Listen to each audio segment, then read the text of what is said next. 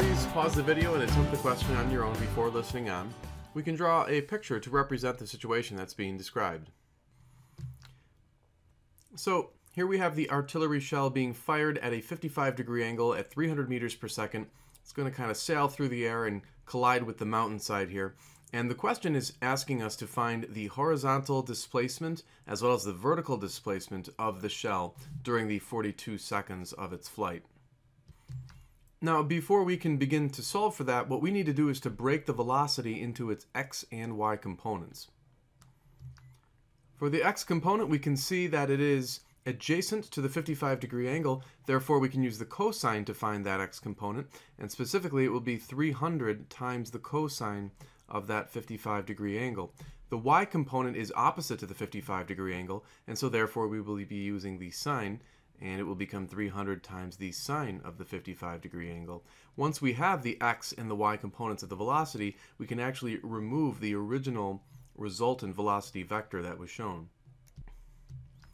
And now that the velocity is broken into its components, we can introduce a projectile motion table that will help us organize the information. The lovely picture of the mountain has been the initial velocity in the x direction was noted right here as 300 cos 55 and then in the y direction it was 300 sine 55.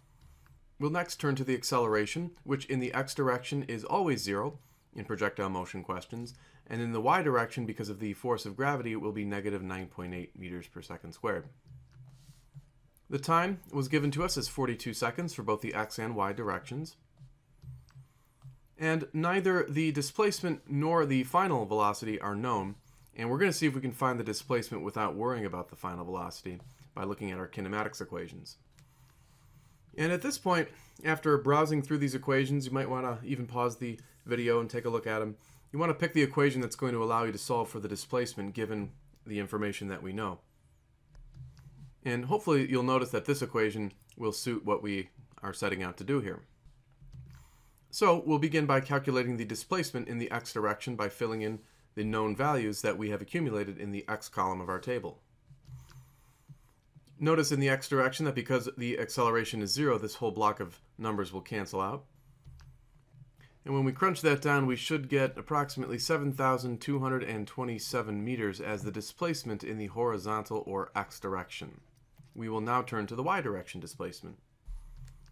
And we've plugged in all the known values from the y column of the chart. Notice that instead of calling it delta x, we're calling the displacement delta y, a minor change, but worth noting.